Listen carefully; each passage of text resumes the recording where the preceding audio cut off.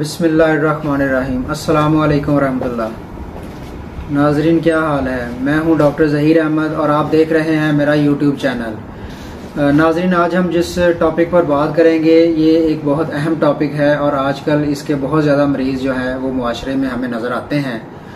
तो इसकी काफ़ी सारी वजूहत हैं उन वजूहत के बारे में भी, भी हम डिस्कस करेंगे और फिर इसका जो इसकी अलामत हैं और उसके बाद फिर इसका जो इलाज है, उसके बारे में हम डिस्कस करेंगे।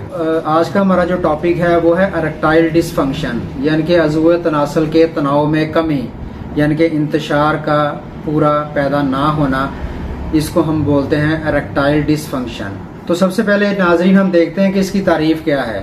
तो इसकी तारीफ़ ये है कि इसमें होता यह है कि एक्चुअली मर्दों में जो अजू तनासल है, उसका उसके अंदर जो तनाव है, उसमें कमी आना शुरू हो जाती है। या तो मरीजों को शहवत बिल्कुल नहीं आती, या अगर आती है शहवत तो वो शहवत बहुत कमज़ोर होती है, जिससे वो अपनी वाइफ के साथ, बीवी के साथ परफॉर्म सही तरीके से नहीं कर पाते। तो ये तो थी मोटी मोटी तारीफ़ जो इस बीमारी से रेलिवेंट है। उसके बाद हम देखते हैं कि इसकी वजूहत क्या हैं। तो इसकी सबसे जो अहम चीज़ है, वो है वजह, कि इसकी वजह को मालूम करना कि ये बीमारी या ये प्रॉब्लम क्यों आ रही है। तो उसमें जो वजूहत हैं, उसमें शहवत की कमी की वजूहत में जो सबसे बड़ी वजह है, वो है जहनी परेशानी टेंशन दबाव स्ट्रेस ये जो चीज़ें हैं, ये इस चीज़ की जो है जो है एक बहुत बड़ी वजह बनती हैं। तो इसके अलावा उम्र का ज़्यादा हो जाना, जैसे बड़ी उम्र हो गई है तो उससे भी वक्त के साथ साथ आहिस्ता आहिस्ता जो टेस्टिसिटोन हार्मोन है, वो बनना कम हो जाता है। उसके बनने के कम होने की वजह से भी जो है वो अरेक्टाइल डिसफंक्शन होना शुरू हो जाते हैं। इसके अलावा जो कॉमन एक बहुत आम चीज़ है वो है मुश्तजनी, यानी कि हैंड प्रैक्टिस के जो लोग या लड़के अपनी छोटी उम्र के अंदर अपने आप को मिस यूज़ करते हैं तो उनको फिर जब शादी के बाद या शादी के वक्त उनको फिर ये प्रॉब्लम आना शुरू हो जाती है या कुछ अरसे के बाद शादी के, कि जी उनकी जो अरेक्टाइल डिसफंक्शन है, वो उनको आना शुरू हो गया है। तो एक तो ये इसकी बहुत बड़ी वजह है जो हमारे मुआरे में है। दूसरा ये है कि शुगर जो है, ये भी हमारी बहुत आम हो गई हुई है। तो शुगर जो बीमारी है, अगर इसको प्रॉपर कंट्रोल ना किया जाए और इसका परहेज ना किया जाए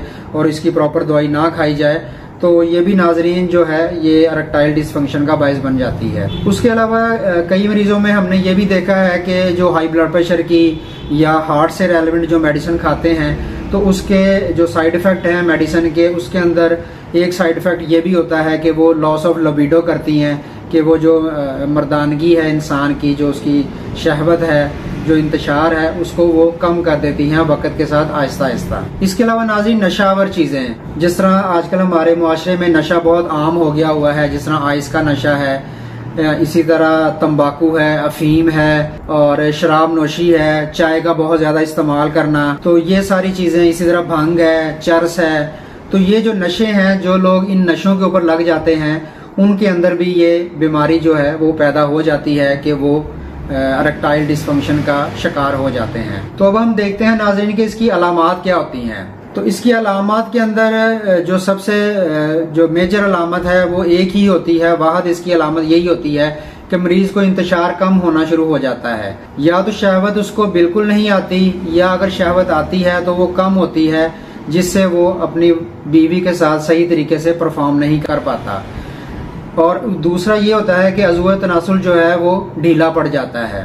तो अजूत तनासल के अंदर सख्ती नहीं रहती, वो ढीला पड़ जाता है उसके अंदर तनाव नहीं आता तो जिसकी वजह से उसको फिर अपनी वाइफ के सामने जो है, वो शर्मिंदगी का सामना करना पड़ता है। होम्योपैथी के अंदर कैसी अद्वियात हैं, जिनको इस्तेमाल करने से हम इस मर्ज पर काबू पा सकते हैं? तो सबसे पहले मैं आपको तीन ऐसी मेडिसिन बताऊँगा जो कि खास तौर पर जो शुगर के मरीज़ हैं, उनके लिए ये एक नुस्खा है, जिसके अंदर तीन दवाइयाँ शामिल हैं। अगर ये तीनों दवाइयाँ मरीज़ शुगर वाला खास तौर पर और उसको रेक्टाइल डिसफंक्शन का मसला बन गया है तो वो ये तीनों दवाइयाँ लेकर इनको इकट्ठी मिलाकर भी इस्तेमाल कर सकता है, या इनको अलग अलग भी इस्तेमाल कर सकता है। अब मैं बताता हूँ आपको वो कि तीन दवाइयाँ वो कौन सी हैं। उसमें सबसे पहली दवाई है मॉस्कस। मॉस्कस उसने 200 पोटेंसी में लेनी है। दूसरी दवाई है क्यूप्रम मटेलिकम। क्यूप्रम मेटेलिकम भी 200 पोटेंसी में लेनी है, और तीसरी दवाई है एसड फास। एसड फास भी 200 पोटेंसी में लेनी है। ये तीनों दवाएँ लेकर इनको इकट्ठा मिक्स कर लेना है और इसके पाँच कतरे सुबह और पाँच कतरे शाम एक घूंट पर पानी में डालकर इस्तेमाल करने हैं। तो इन शुगर का मरीज़ जब ये वाला नुस्खा कुछ अर्सा रेगुलर इस्तेमाल करेगा तो इन ताला उसका जो ये इंतशार ना आने वाला मसला है, या रेक्टाइल डिसफंक्शन है, ये इन ताला अल्लाह की तोफीक से ठीक होना शुरू हो जाएगा। इसके साथ साथ उसको अपनी शुगर के ऊपर जो है वो भरपूर तवज्जा देनी पड़ेगी, इसके साथ वॉक और एक्सरसाइज करनी पड़ेगी, ताकि ये है कि उसकी शुगर कंट्रोल रहे, उसकी ब्लड ब्लड की सप्लाई सही हो, ताकि वो इस मर्ज से निजात पा सके। उसके बाद नाजरीन, एक दूसरा नुस्खा जो बड़ा एक अहम नुस्खा है जो मैं अपने मरीजों में आम इस्तेमाल करवाता हूँ और आज मैं आपको अपनी इस वीडियो के ज़रिए आप तक वो नुस्खा पहुँचा रहा हूँ, जो कि मैं बड़े कामयाबी से अपने क्लिनिक पर मरीजों के अंदर ये नुस्खा इस्तेमाल करवाता हूँ। तो इन ताला आप वो नुस्खा इस्तेमाल करेंगे तो आपको भी उससे इन ताला फ़ायदा होगा। तो उसके अंदर चार दवाइयाँ हैं जो मैं आपको बताता हूँ। उन चारों दवाइयों को आपने लेकर मिक्स कर लेना है और उसके पाँच कदरे सुबह, पाँच कदरे शाम आपने इस्तेमाल करने हैं। उसमें सबसे पहली दवाई है एग्नस कासस टू में।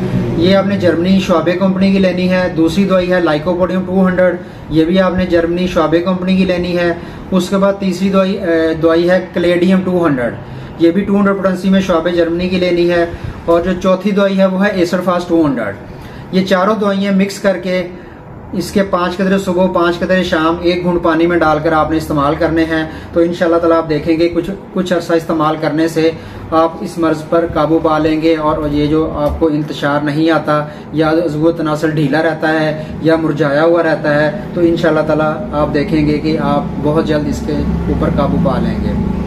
उसके बाद नाजरीन, हमारी जो अगली दवाई आती है, वो है स्टेफिसगेरिया स्टेफिसगेरिया एक ऐसी दवाई है जो कि हम ये कह सकते हैं कि जो यंग जनरेशन में जो मुश्तजनी का शिकार रहे हों और ज़्यादा अरसा जब वो इस आदत के अंदर मुबतला रहते हैं तो उसकी वजह से फिर आने वाले वक्त में उनके अंदर ये प्रॉब्लम पैदा हो जाती है, जो है रेक्टाइल डिसफंक्शन तो अगर कोई मरीज़ ऐसा जो समझता है कि उसने अपनी जवानी जो है वो इस गलत रास्ते के ऊपर इस्तेमाल की है और उसकी वजह से वो अरेक्टाइल डिसफंक्शन का जो है वो शिकार हो गया है।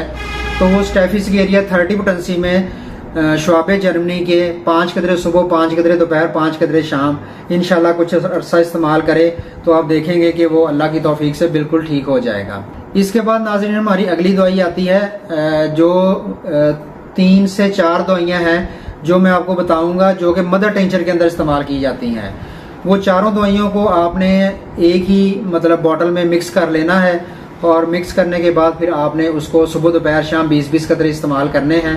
वो चार दवाइयाँ कौन सी हैं वो मैं आपको बताता हूँ। उसमें सबसे पहली दवाई है यूहम बीनम यूहम बीनम आपने मदर टिंचर में लेनी है क्यूपटेंसी में और दूसरी दवाई है डामियाना डामियाना भी आपने मदर टिंचर में लेनी है और ये कोशिश करें कि ये शुआब जर्मनी की आप इस्तेमाल करें क्योंकि इसके रिजल्ट्स बहुत अच्छे मिलते हैं। उसके बाद नाजरीन हमारी अगली दवाई है ट्राइबुलो स्टार ट्राइबल स्टार भी आपने मदर टिंचर के अंदर लेनी है। और चौथी और आखिरी दवाई हमारी वो है एशवागंधा एशवागंधा मदर टिंचर के अंदर आपने लेनी है। ये चारों दवाइयाँ आपने लेकर इनको एक ही बोतल के अंदर मिक्स कर लेना है। मिक्स करने के बाद आपने इनके 20 कदर सुबह 20 कदर दोपहर और 20 कदर शाम को आधे गिलास पानी में डालकर कुछ अरसा को रेगुलर दो तीन महीने इस्तेमाल करना है। तो इन ताला देखेंगे आप कि आपका ये वाला जो मसला है रेक्टाइल डिसफंक्शन का तो ये अल्लाह की तोफीक से आहिस्ता आहिस्ता इसके ऊपर काबू पाना शुरू हो जाएगा और ये आहिस्ता आहिस्ता आपका मसला ठीक हो जाएगा। इसके बाद नाजरीन, हमारी आज की आखिरी दवाई है ऑर्चिटीनम ऑर्चिटिनम जो है, ये थ्री एक्स पोटेंसी में इस्तेमाल की जाती है और ये खास तौर पर ऐसे मरीजों में इस्तेमाल की जाती है जिनका टेस्टिसिटीरोन हार्मोन जो है, उसका लेवल बॉडी में कम होना शुरू हो जाए और उसके लेवल के कम होने की वजह से उसके अंदर अरेक्टाइल डिसफंक्शन का मर्ज पैदा हो जाए।